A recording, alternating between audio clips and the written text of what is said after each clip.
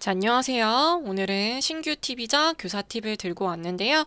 제가 오늘 생기부 연수를 들었거든요. 그래서 작년에 학적 업무를 하면서 조금 공통적으로 보였던 부분들도 있고, 그 다음에 저도 종종 까먹곤 하는 것들도 있고 해서 한번 네 가지만 추스려서 정리를 해봤습니다. 도움이 되시면 좋겠네요. 그럼 짧게 찍어볼게요. 자, 먼저 기본적으로 생기부 말투는 모모함 이런 말투여야 돼요. 뭐뭐 한다 이게 아니라 명사 형태로 끝나야 합니다. 그래서 뭐뭐 함 이렇게 쓰셔야 되고요. 기본 전제로 하시고서 어, 특히 주의를 기울이셔야 되시는 부분은 먼저 날짜예요. 자율활동 같은 경우에 그리고 뭐 동아리나 진로 같은 경우에 정말 날짜가 많이 들어가는데요. 이 날짜는 기본적인 형태가 이런 형태입니다. 그래서 지금 색깔로 표시를 해놨는데요. 많이들 빠뜨리시는 부분들이 있어요. 이거는 이제 이렇게 양 옆에 괄호가 들어가더라도 공통적으로 변하지 않습니다. 이 괄호와 숫자 사이에는 띄어쓰기 공백이 없고요. 그래서 여기 사이에는 띄어쓰기가 그 어디에도 존재하지 않습니다. 그거를 먼저 알아두시고요. 여기 파란색으로 표시를 해둔 부분을 보시면은 온점이 반드시 들어가야 돼요. 그래서 숫자를 마칠 때마다 온점을 넣어주시고 온점을 끝으로 괄호를 닫으셔야 합니다. 이게 가끔 온점이 빠져가지고 막 교과목 선생님이나 담임 선생님한테 고쳐달라고 하는 경우가 있었거든요. 그럴 때 아 이걸 가지고 뭘 그렇게 생각하나 라고 생각하지 마시고 이걸 반드시 이렇게 적으셔야 합니다. 그리고 가운데에는 물결 표시가 아니라 작대기 표시예요. 이걸 물론 연수를 들으셨으면 아시겠지만 그래도 한 번 더 강조를 해드립니다. 그리고 이 물결 표시가 아니라 작대기, 이 하이퍼와 온점 사이에는 역시 띄어쓰기가 없습니다. 그리고 뭐냐면은요, 요건데요. 여기 앞에 공이 붙어 있는데 뒤에도 또 공이 들어가야 돼요. 그러니까 한 자리 숫자의 개월, 달일 경우에 이렇게 쓰시는 경우가 있는데 이게 아니라 08.11 이렇게 쓰셔야 됩니다. 그리고 앞에는 점이 붙지 않아요. 기억을 해주세요. 그래서 이렇게 며칠부터 며칠까지라고 날짜를 표시하셨을 때 점은 다섯 개만 들어가게 됩니다. 요게 기본 형태예요. 그리고 두 번째로는 이제 작은 따옴표인데요. 이거는 사실 생기부 기재 유령에 막 반드시 나와 있진 않아요. 이거를 써야 된다. 근데 보통은 다 많이 고치시는 거라서 한번 들고 왔습니다. 뭐냐면요. 이제 제가 단어를 썼고요. 아무 말이라는 단어를 썼고 작은 따옴표로 그러니까 소 따옴표로 이제 닫아봤는데요. 근데 여기서 두가 두 개가 약간의 차이가 있어요. 보시면은 조금 깨지지만 위에 모양이랑 아래 모양이랑 조금 다른 거 보이시나요?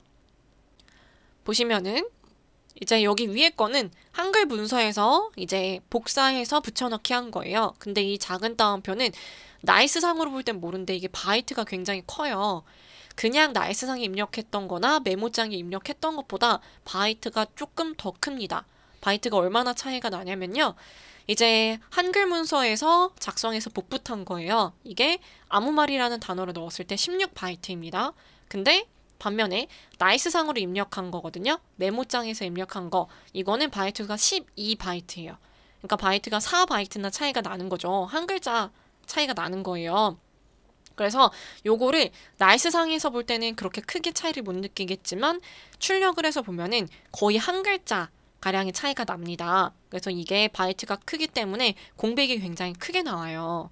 그래서 요거를 보통은 다 고쳐달라고 말씀을 하시거든요. 그래서 여러분들도 이거 작은 따옴표를 반드시 생각을 하셔서 한글 문서 복붙을 하지 마셨으면 좋겠습니다. 근데 플러스로 생기부 담당 선생님께서 또 올해 공지를 해주셨는데 작은 따옴표를 웬만해서는 쓰지 말라고 하시더라고요. 그러니까 지 양을 하고 있는 중이니까 웬만해서는 쓰지 않으셨으면 좋겠습니다. 그래서 이 부분 같은 경우에는 제가 작년에 전입생 확인 시에 꼭 하는 거였어요. 그리고 생기부 마감할 때도 확인을 했던 거고요. 그래서 말씀을 드립니다.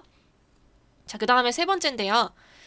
자, 세 번째는 띄어쓰기랑 맞춤법이에요. 이건 당연히 뭐 필수로 하는 거라서 좀 신경을 쓰셔서 하실 텐데 이게 한글 문서에서도 확인을 해보셔야 되고 그 다음에 또 맞춤법 검사기로도 확인을 하셔야 되는데요. 보통 틀리시는 부분이 엑셀에서 작업해서 옮기시는 경우도 있고 한글에서 작성해서 옮기시는 경우도 있다 보니까 들여쓰기를 잘못됐거나 이러셔서 빈칸이 두 번인 경우가 있어요. 그러니까 띄어쓰기가 두 개가 돼 있는 경우가 있거든요. 자, 이런 경우가 있는지 반드시 확인을 하셔야 되고요. 그 다음에 맞춤법 검사기에 한번 확인을 하셔야 돼요. 엑셀 작업하실 때 놓치기 쉬운 부분인데요. 이거를 네이버의 맞춤법 검사기 검색하면 나오거든요. 여기서 한번 돌리셔서 확인을 해서 수정을 해주셔야 되고요. 그 다음에 영어를 지향을 해야 돼요. 이거는 뭐 맞춤법이랑 연관된 부분이라 여기라 넣었는데요. 어, 영어 표현 있잖아요. 뭐가 있을까요? 뭐 PD나 CF 이런 고유명사는 사용할 수가 있는데 예를 들면은 한글로 굳이 쓸 수 있는 거를 영어로 표현을 한다든지 이런 거는 좋지 않습니다. 지양을 하라고 나와 있어요. 그래서 이것도 한번 확인을 해 주셔야 되고요. 그러니까 뭐 인공지능 같은 경우에 AI로 안 쓰고 인공지능으로 쓰면 되잖아요. 그러니까 이런 경우를 얘기를 하는 겁니다. 그래서 이 띄어쓰기랑 맞춤법은 반드시 지켜주셔야 되는 게 생기부 기재유령 174페이지 보면은 앞에 내용은 뭐 생략을 했지만 내용의 의미 변화가 없는 단순 오탈자의 정정은 가능하며 이렇게 나와 있어요. 그러니까 자료 정정을 이 경우에 가능하다고 되어 있는 거거든요. 특히 이 경우에는 별도의 증빙 서류가 없이 정정 대장을 쓸 수가 있어요. 그러니까 이 말인 즉슨 뒤바꿔서 생각을 해보면은 오탈자를 정정해야 될 수도 있다는 거예요. 그러니까 오탈자 때문에 생기부 정정 대장을 써야 된다는 거죠. 그러니까 의미에 문제가 없으면 보통 패스를 하긴 하는데 근데 정정을 할 수도 있다는 거예요. 그러니까 정말 운이 나쁘면은 이 자료를 정정하기 위해서 정정 대장을 굉장히 많이 써야 될 수도 있다는 뜻입니다. 그러니까 오탈자가 굉장히 중요한 거라는 거를 인식을 해주시고요. 띄어쓰기랑 맞춤법 주의해서 작성을 해주시면 될 것 같아요. 그 다음에 마지막인데요. 자, 마지막은 뭐 되게 많은 것들이 있지만 제가 생각했을 때 놓치기 쉬운 부분 그러니까 학적과 관련지어서 놓치기 쉬운 부분인데요. 뭐냐면은 학기 시작일을 조금 틀리시는 경우가 있어요. 이제 임원 기간인 건데요. 반장, 부반장 기간이기도 하고요. 이게 1학년 같은 경우에는 올해 3월 2일에 입학을 합니다. 3월 1일에 입학하지 않잖아요. 3월 2일에 입학하니까 3월 2일이 시작이에요. 근데 2, 3학년 같은 경우엔 다릅니다. 요거를 주의해 주셔야 되는데요. 2, 3학년은 3월 1일자가 시작이에요. 3월 1일이 공휴일이어도 3월 1일부터 시작을 합니다. 그래서 요거를 자꾸 놓치시더라고요. 그래서 1학년 담임 선생님, 뭐 아니면은 교과목 선생님 같은 경우에 요걸 반드시 기억을 해주시고요. 그 다음에 또 하나 주의하실 점이 있는데요. 뭐냐면은 학기 종료일이에요. 학기 종료일이 1학년이랑 2학년 같은 경우에는 이제 2월 28일입니다. 근데 당연히 해는 달라지겠죠. 내년 2월 28일에 학기를 종료하는데요. 3학년 같은 경우에는 종료일이 언제냐면은 종업식이에요. 그러니까 종업식, 졸업식 같이 하는 경우에는 상관이 없지만 종업식을 하고 졸업식을 한다면 당연히 졸업식 날짜가 되겠죠. 그래서 이 날짜가 졸업식까지입니다. 그래서 요거를 똑같이 통일하시는 경우가 있는데 그러지 않도록 주의를 해주셔야 돼요. 그래서 3학년 같은 경우에 1학년과 학기 시작일과 끝나는 날이 다르다는 거 반드시 기억을 해주셔서 반장, 부반장 혹은 아니면은 뭐 동아리 부장 같은 경우에 임기 기간을 넣어주시면 됩니다. 그래서 뭐 실제로 3월 1일에 활동을 하지 않았더라도 날짜는 이렇게 적어주셔야 되거든요.